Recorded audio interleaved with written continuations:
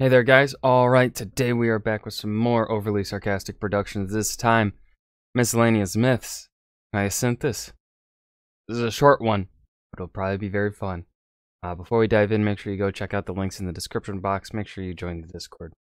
Um, now, let's just dive right in. So Apollo's got a bit of a reputation when it comes to how his relationships generally end. I mean, for a guy with an oracle on his payroll, he was really bad at finding people who would actually date him. I mean, No. Daphne, Castalia, Cassandra, Acantha, Bolina, Acro, Leucades, considering Wait, hold on. There's a bunch of stuff. date him. I mean, Daphne A naiad transformed by her father Ladon into a laurel tree at her request. A nymph transformed by Apollo into a vision granting fountain after she rejected him. Gonna take a while. Sandra, a Trojan princess who was not won over by the gift of prophecy, subsequently cursed. Apollo, no! Don't curse people for rejecting you. Messed up. Kantha, a nymph who rejected Apollo and scratched his face, turned into a spiky plant. A cactus. Why eh, Apollo has a thing for nymphs.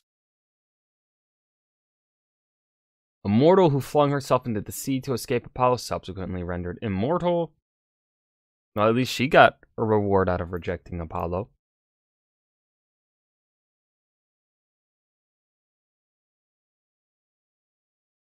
Oh, this is a different person. Another person to escape Apollo. A Croy, a mortal who flung herself into the sea and a boat to escape Apollo. Leucades, A mortal who flung himself off a cliff to escape Apollo. considering how many of Apollo's potential dates flung themselves off of cliffs or turned into various pieces of local flora just to avoid him, it's amazing the poor guy even tried anymore. But surprisingly, Apollo did manage to have a few functional relationships. Nice. Kind of. At the oh. very Oh. least, there were relationships he was in where he wasn't actually directly responsible for their tragic resolutions. The most Oh. famous of these is probably the romance of Apollo and Hyacinthus. Now, Hyacinthus is a young Spartan prince, and his primary defining feature is that he's super pretty. There's also Nice. apparently some evidence that he might actually be a pre-Hellenic deity of some sort. Anyway, bottom line is he's majorly cute, and Apollo goes all head over heels for him. Surprisingly, Hi, name's Apollo. Want to be graced with my presence for the rest of your life? Considering Apollo's track record, springing this on Hyacinthus does not send him screaming into the hills or turn him into a plant, and instead they end up getting along Sure. that never works. famously. So that's cool. Unfortunately for everyone. Oh boy. Um I just worry that my culture's powerful military and obsession with physical fitness will cause people in the future to disregard our incredibly progressive societal structure in favor of characterizing us as some kind of meat-headed boys club, you know? I mean, Spartan women are educated, landowning, and actually allowed to, do, to exercise and do sports like the boys. The only difference is they don't join the military. Athens executes educated women, and we're the boys club? I just can't shake the feeling we're going to be flanderized into some cardboard frat house while Athens is held up as a beacon of civilized progress. Also, I hope everyone knows we wear armor when we fight because that'd get weird otherwise.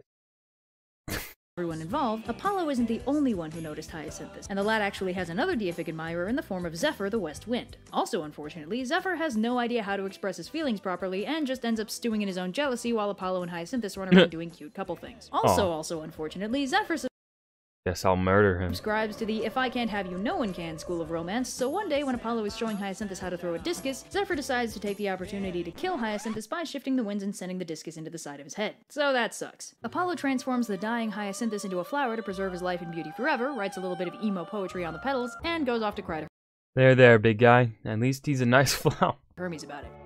On the plus side, this love interest didn't turn into a plant until after the second date. The mirror Yeah. On the other hand, he didn't get to turn into a god like Psyche of Ganymede, so Hyacinthus did still kind of end up with the short end of the stick. Yeah, he did.